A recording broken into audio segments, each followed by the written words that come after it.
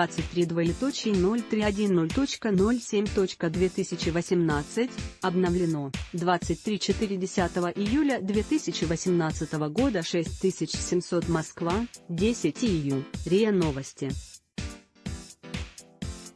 Более 900 детей были использованы в Сирии в 2017 году для выполнения функций, связанных с ведением боевых действий, говорится в докладе Генсека ООН «Дети и вооруженные конфликты», который был опубликован во вторник на сайте Организации Объединенных Наций. Как пишет автор доклада, из-за продолжения ожесточенного конфликта в Сирии в 2017 году было зарегистрировано рекордно высокое число подтвержденных серьезных нарушений в отношении детей – 2800 896 случаев.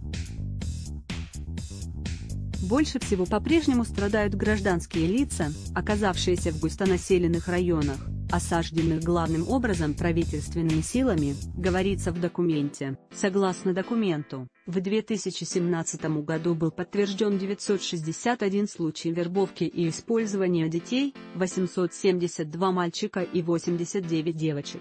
Это на 13% больше, чем в 2016 году, сравнивают авторы.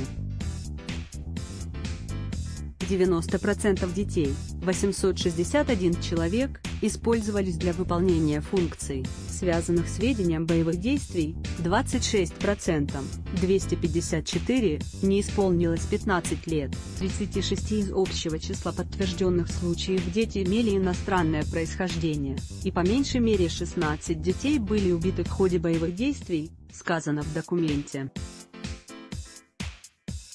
число случаев вербовки и использования детей со стороны террористической группировки увеличилось в 2017 году более чем вдвое, отмечает автор доклада «Террористическая организация, запрещенная в России». Развитие ситуации, в спецпроекте РИА Новости «Война в Сирии».